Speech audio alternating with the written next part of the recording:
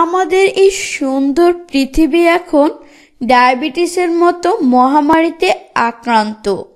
বাংলাদেশের মতো উন্নয়নশীল দেশগুলোতেও ডায়াবেটিস এখন উন্নতশীল দেশের চাইতে দ্বিগুণ হারে বেড়েই চলেছে।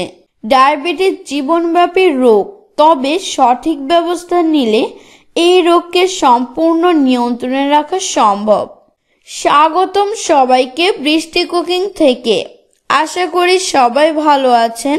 হ্যাঁ ভিউয়ার্স, ঠিক ধরেছেন। আজকে আলোচনা করব ডায়াবেটিস কীভাবে ঘরোয়া পদ্ধতিতে চিকিৎসা করা যায়। তো চলুন আর দেরি কেন? জেনে নেওয়া যাক ডায়াবেটিস চিকিৎসা শিউলি ফুল। শিউলি ফুল শরৎকালে ফোটে। এর ফুলগুলি রাত্রে ফোটে এবং সকালে ঝরে যায়। শরৎ ও হেমন্তকালে শিশির ভেজা সকালে ঝরে থাকে শিউলি। অসম্ভব সুন্দর দৃশ্য তৈরি করে। শুভ্র সকালে শিউলি তোলা থেকে এক রাস হাত ভরে শিউলি ফুল। কি অপূর্ব সুন্দর দৃশ্য। ভাবছেন ডায়াবেটিস রোগীর কথার মাঝে শিউলি ফুল কোথা থেকে আসলো? শিউলি শুধুই ফুল নয় ডায়াবেটিস চিকিৎসা এর ব্যবহার রয়েছে।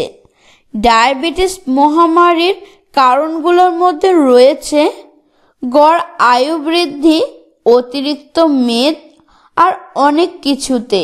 আর এখন এই অদ্ভুত সুন্দর ফুলের পরিপক বীজ আপনার জীবনব্যাপী রোগ ডায়াবেটিস কমাতে সম্পূর্ণ গুরুত্বপূর্ণ ভূমিকা রাখবে।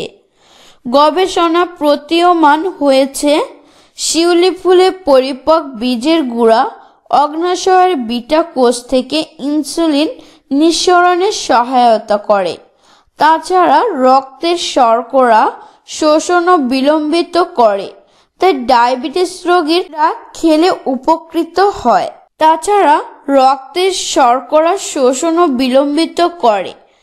তাই ডায়াবেটিস রোগীরা খেলে উপকৃত হয়। প্রচলিত নাম শিউলি। ইংরেজি নাম নাইট জেসমিন। কীভাবে এটি খাবেন? বীজ গুঁড়া করে পানিতে মিশিয়ে খালি পেটে খেতে পারেন। বীজ গুঁড়া খাবারের সাথেও খাওয়া যায়। এবার চলুন জেনে নেওয়া যাক শিউলি পাতা আর কি কি রোগ উপশম করে। পিত্ত বাড়লে শিউলির আট থেকে দশটি পাতা সামান্য গাওয়া ঘি দিয়ে ভেজে খেলে উপকার পাওয়া যায়। তিন থেকে চার দিন খাওয়ার প্রয়োজন রয়েছে। কোমরের বাত টাটকা পনেরো থেকে বিশটি শিউলি পাতা দু কাপ জলে সেদ্ধ করে আধা কাপ থাকতে আজ থেকে নামিয়ে ফেলতে হবে। সে জল সকালে এবং একইভাবে সন্ধ্যায় খাওয়া দরকার। কিছুদিন নিয়ম করে খেলে বাত আরোগ্য হয়ে যাবে। ঘন সর্দি অথবা হলুদ স্লোমা। শিওলের মূল এক গ্রাম পানের সঙ্গে চিবিয়ে সারাদিনে একবার খেলে সর্দি অথবা স্লোমা ভেতর থেকে বের হয়ে যায়। ছোটদের কৃমি রোগ। পাতার চার চা চামচ রসে আধা চামচ চিনি মিশিয়ে ক্ষেত্রে মরা কৃমিও মলের সঙ্গে বের হয়ে আসে। মাথার খুশকি। স্নান করতে যাবার দুই থেকে তিন ঘণ্টা আগে শেফালিকা বীজের গুঁড়ো অর্থাৎ শিউলে ফুলের গুঁড়ো সামান্য জলে গুলে মাথার সব জায়গায় ভালোভাবে মাখতে হবে। কয়েকদিন মাখার পরেই মাথার খুশকি সব চলে যাবে। বিষম ও অবিরাম জ্বর। শ্যাফালিকা ফুল গাছের ছয়টি থেকে আটটি পাতা সামান্য জলের সঙ্গে বেটে তার মধ্যে টাটকা আদার রস মিশিয়ে রোগীকে খেতে দিলে উভয় জ্বর আরাম হবে। পৈতৃক জ্বর।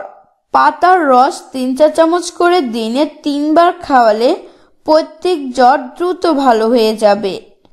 যে সমস্ত রোগের কথা এখানে উল্লেখ করা হলো, তার মধ্যে মাথার খুশকি ছাড়া অন্য সব রোগের ক্ষেত্রে শেফালিকার পাতা, মূলের ছাল ও ত্বক ব্যবহার, অর্থাৎ খাওয়া হলে খাদ্যের ব্যাপারে কিছু নিয়ম পালন করা দরকার। ওষুধ খাওয়া যে কয়েকদিন চলবে, ওই সময় মাছ, মাংস, ডিম ও পেঁয়াজ খাওয়া উচিত নয়। বিভিন্ন সবজি তরকারি সহ ভাত খাওয়া দরকার। ভিউয়ার্স, যদি ভিডিওটি উপকারী বলে মনে হয়, অবশ্যই লাইক দিতে ভুলবেন না, সেই সাথে শেয়ার করে জানিয়ে দিন আপনার প্রিয়জনদের। ভিডিওটি ভালো লেগে থাকলে চ্যানেলটি এখনই সাবস্ক্রাইব করুন এবং পাশে থাকা বেলাইকনটি বাজিয়ে দিন পরবর্তী ভিডিও পেতে। ভিডিওটি দেখার জন্য সবাইকে ধন্যবাদ। আবার দেখা হবে অন্য কোনো ভিডিওতে।